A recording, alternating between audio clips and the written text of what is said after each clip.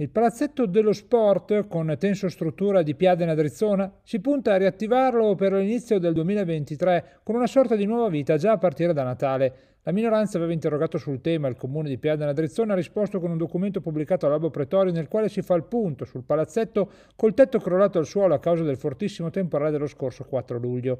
Il documento affida i lavori di smaltimento dei vari detriti alla ditta Edil Milani, ma l'occasione col sindaco Matteo Guido Priori è buona anche per fare il punto della situazione. Appena sgomberato tutti i detriti ripartono e partono con la ricostruzione del palazzetto, in poche parole. Lo farà la stessa ditta?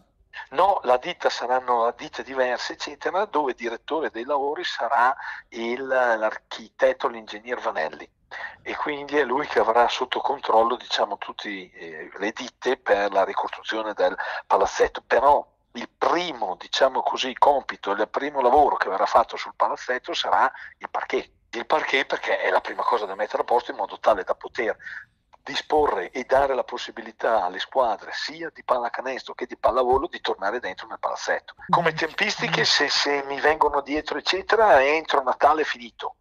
Perché, perché c'è bisogno di almeno una ventina di giorni per, cui, per asciugare, perché lo levigano e poi devono verniciarlo, quindi ci vogliono una ventina di giorni, però se mi fanno questo lavoro intorno al 20 di, come si dice, novembre, considerando un mese, arriviamo prima di Natale, ecco, quindi per gennaio finalmente si può usare. Ecco. Un'ultima domanda, come preventivo di spesa per la ricostruzione cosa stimate? Noi per preventivo di spesa siamo dentro i 210 mila euro, in poche parole che sono poi i soldi che ci ha dato l'assicurazione. Ecco.